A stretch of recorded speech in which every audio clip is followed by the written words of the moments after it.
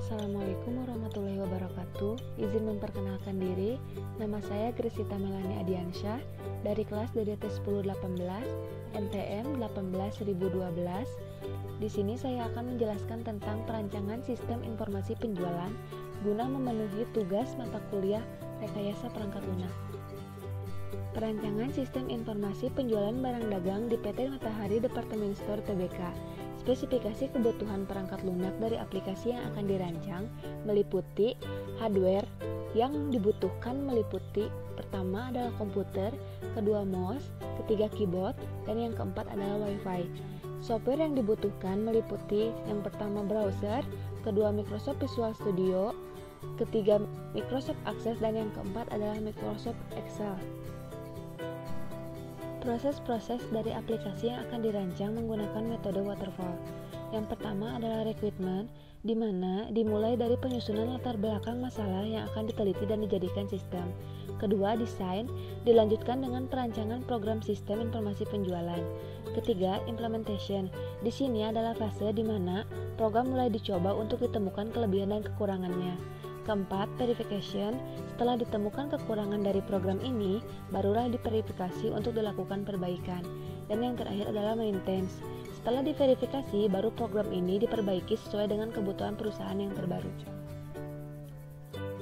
Latar belakang masalah yang diteliti meliputi alur penjualan yang terjadi di PT Matahari Departemen Store yang meliputi proses konsumen membawa data pembelian barang menuju kasir untuk dilakukan transaksi pembayaran di kasir, Kemudian, kasir melakukan input data pembelian barang sehingga terbentuklah nota pembayaran yang nantinya akan diberikan kepada konsumen satu lembar dan satu lembar lainnya akan diberikan kepada bagian EDV untuk dijadikan arsip perusahaan dan nantinya akan dilakukan perekapan oleh bagian EDP sehingga terbentuklah data penjualan yang akan diverifikasi oleh asisten store manager sehingga setelah data melewati proses validasi baru bisa digunakan untuk membuat laporan penjualan.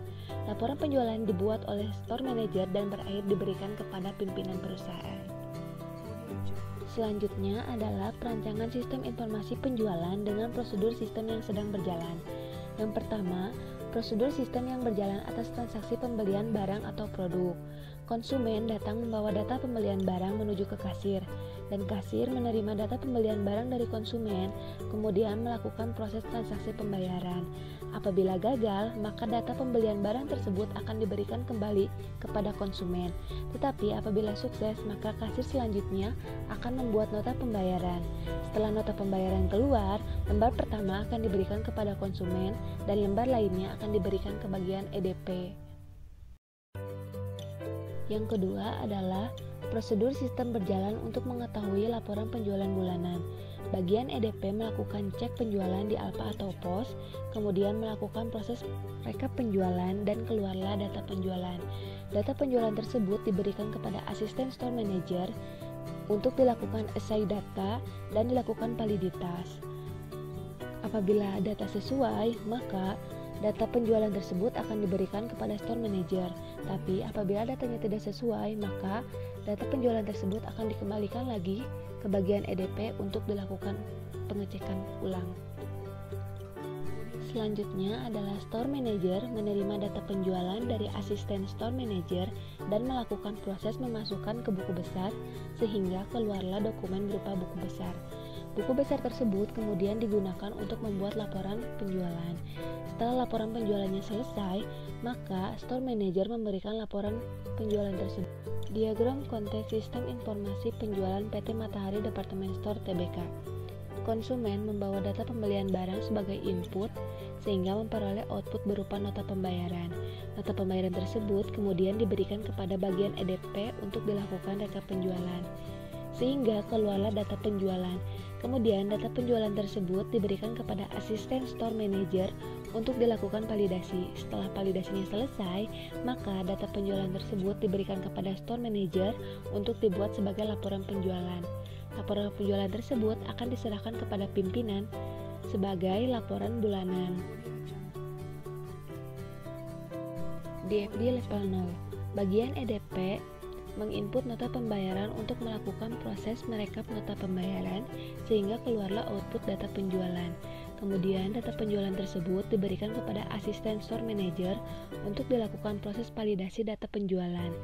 Apabila sudah selesai dan datanya sudah valid, maka data penjualan tersebut diberikan kepada store manager.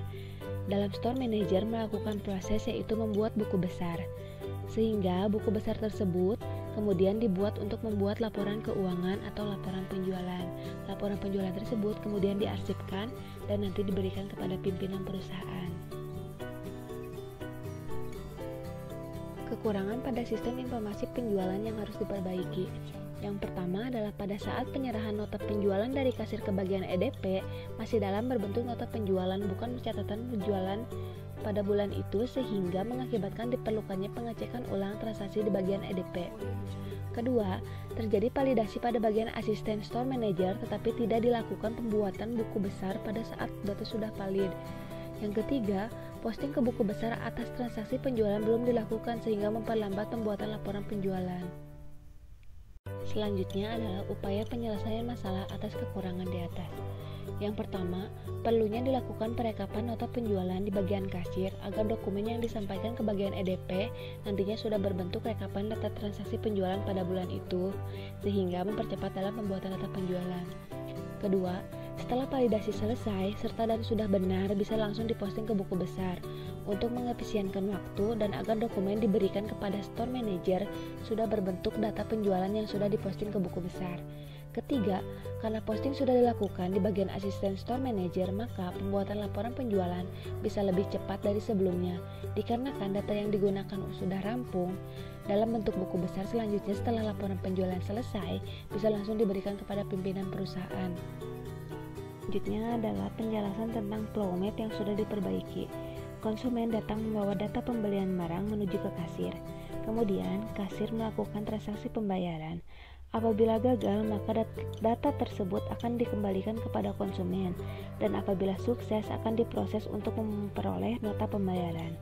Setelah nota pembayaran berbentuk dokumen, dokumen pertama akan diberikan kepada konsumen sebagai bukti, dan dokumen yang kedua akan dilakukan perekapan data transaksi penjualan oleh bagian kasir, sehingga keluarlah dokumen berupa rekapan data transaksi dan diberikan kepada bagian EDP untuk dilakukan proses membuat data penjualan.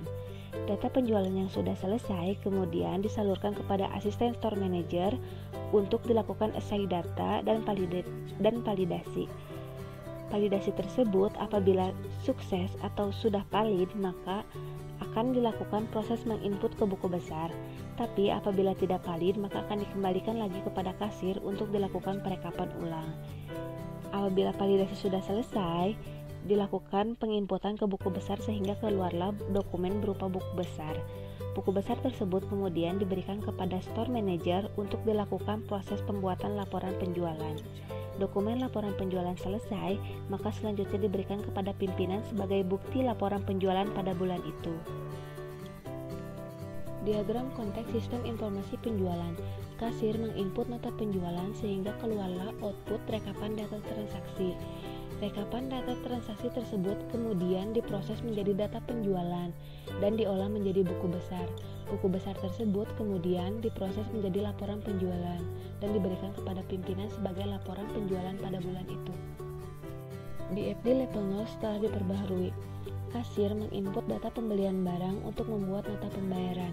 Nota pembayaran tersebut kemudian diberikan kepada konsumen satu lembar dan satu lembarnya lagi diarsipkan untuk membuat rekapan data transaksi penjualan.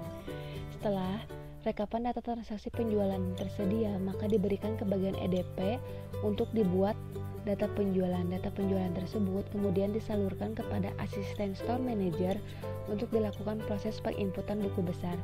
Buku besar tersebut kemudian diolah menjadi laporan penjualan, sehingga terciptalah dokumen berupa laporan penjualan yang diolah oleh store manager kemudian diberikan kepada pimpinan perusahaan. Selanjutnya adalah rancangan interface PT Matahari Department Store. Di bawah ini adalah formulir data transaksi, meliputi ID, jenis transaksi. Jenis transaksi dibedakan menjadi dua. Yang pertama adalah cash, dan yang kedua adalah kredit. Ketiga adalah kode barang. Selanjutnya adalah tanggal transaksi dan yang terakhir adalah jumlah penjualan. Apabila data sudah sesuai, maka lakukan proses input. Apabila tidak sesuai, maka cancel. Selanjutnya adalah cara masuk untuk ke marketplace PT Matahari Department Store. Masukkan email atau MCC number, kemudian masukkan password. Matahari Department Store juga menyediakan marketplace, jadi memudahkan untuk membeli barang secara online. Matahari Department Store bisa didownload di Play Store atau Google Play masing-masing. Ini adalah tampilan dari Matahari Department Store di Marketplace. Sekian dari saya, kurang lebihnya saya mohon maaf. Wabillahi taufiq walhidayah. Wassalamualaikum warahmatullahi wabarakatuh.